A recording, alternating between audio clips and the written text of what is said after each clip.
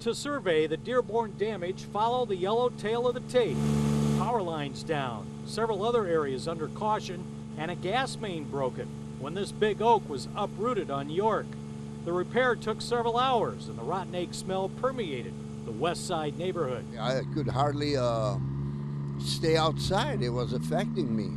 I'm not. Uh, I'm 86, and uh, you know, breathing. I said, close the door to my wife, and we're staying inside. This is Outer Drive in Hollander, where likely live power lines are still down and being closely guarded by DTE staffers.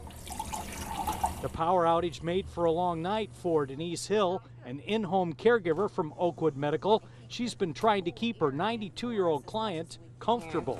She can't take it. We're going to move her out within the next couple of hours because we just can't take it anymore.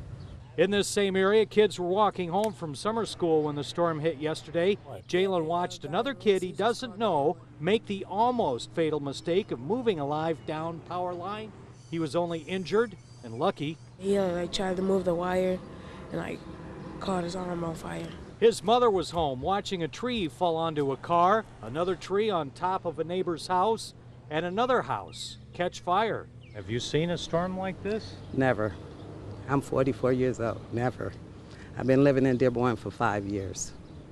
Never saw anything like this in my life. I said, wow, it needs to be a lot of prayer going on out here.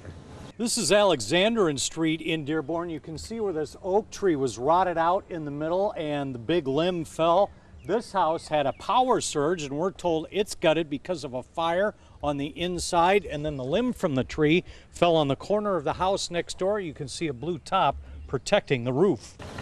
People are not the only ones here having to relocate. Make room for the guys doing all the cleanup. In Dearborn, Jim Kiertzner, Local 4.